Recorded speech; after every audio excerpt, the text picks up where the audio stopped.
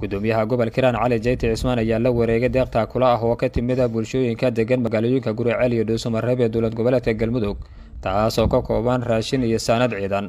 Islamarkaana ay ugu talagaleen inay ku garab istaagaan dadka reer hiiraan iyo ciidamada qalabka sida soomaaliyeed ee dagaalka kula jira kooxaha argagixisada al-shabaab. Waxaana munaasabadda wareejintan oo ka qabsoontay deegaanka iyo sooman oo ka mid ah furumaha hore deegaanada ay ka socdaan dagaalka ka dhanka argagixisada al-shabaab goojoog ka ah oo ku sugnaa xildhibaan cabdulaahi maxamed cali sambalosh oo ka tirsan mudanayaasha baarlamanka dowladda soomaaliya ee ka soo jeeda gobolka hiiraan. Cismaan ciise nuur tardhuleed wasiirka hore wasaaradda amniga galmudug oo horkacaya wafdigan ayaa faahfaahiyey deeqdan iyo waxyaaba ay ka kooban tahay isagoona ballan qaaday in reer galmudug maamul iyo shacab ay garab taagan yihiin. Dadka reer hiiraan ee dagaalka kula jiro kooxaha argagixisada al-shabaab. Madana guddoomiye halkan waxaan ku soconnaa wafdi ka yimid galmudug khaasatan galgaduud. Degmooyinka u sokeeya waxaan soo aadnay ama aan nimid deegaanka iyo sooman.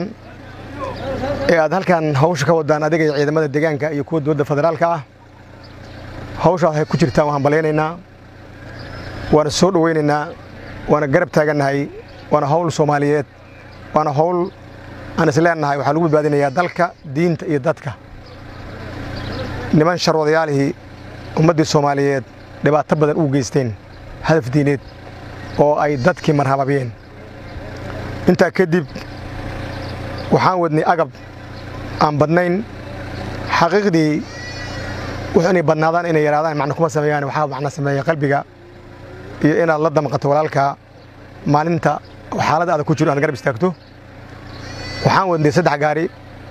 Mid waa shidaal mid waa raashin midna waa agabka layidhaha darayga oo lagu talagalay ciidamadu inay isticmaalaan waxaan ugu tala galnay sayadaas yartaa inaan ku garab istaagno ku dhiirigelinno ciidamada halkan dagaalka uga jira noocyada kala duwan. Dee halganka iyo qaybihii uu soo maray iyo qaybtii aan ku lahayna adaa sheegay waa ku mahadsan tahay gudoomiyaha gobolka hiiraan cali jayti cismaan oo guddoomiye deeqdan ayaa uga mahad celiyey gurmadka walaalnimo ee reer galmudug ay muujiyeen asigoona ballan qaaday in marnaba aysan hilmaami doonin garab istaagga walaalnimo ay muujiyeen dadka reer hiiraan iyo ciidamada qalabka sida soomaaliyeed ee dagaalka kula jira kooxaha argagixisada al-shabaab kana wada deegaano ka tirsan gobolka. Magaalada matabaan hadda dabcan waxaa la garanayaa reerka degan soomaaliya way taqaanaa waxay keeneen gurmad. Wejiyo dhowr nooc leh dhowr nooc ah. Ayay hore u keentay degmadaas. Oo magaaladaas maamulkeeda iyo ganacsatadii iyo maxay kale laysku soo abaabulay.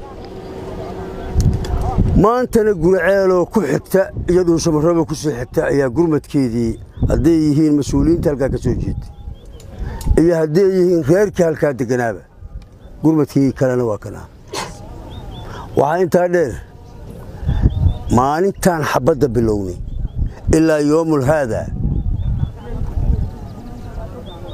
nagamay harin dagaalkaa noogamay harin. Aad iyo aad ayaan ugu faraxsanahay aragtidiinna iyo gurmadkiinna iyo hantida aad keenteenba.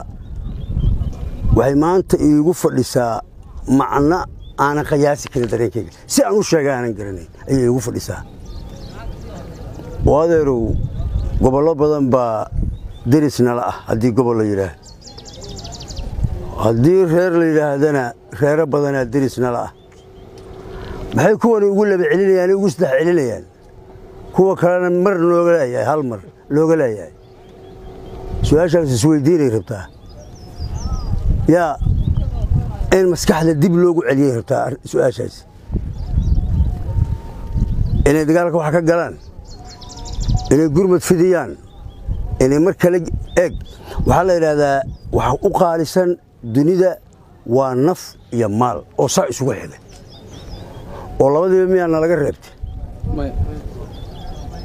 Warniyow daynka haddaan gudi weyno waa xasuusnaanayna markaan ugu yaraano. Haddaan dayntaa soo celin weyno. Aad iyo aad baan idinku mahad celinaynaa. Gurmadka aad noo soo fidiseen. Mahad celinaynaa waa ka mahad celinaynaa. Aad iyo aad aad u asalaamu calaykum waraxmatullahi wabarakaatu khaalid xumaa ismaaciil kacase warbaahinta qaranka degmada maxaas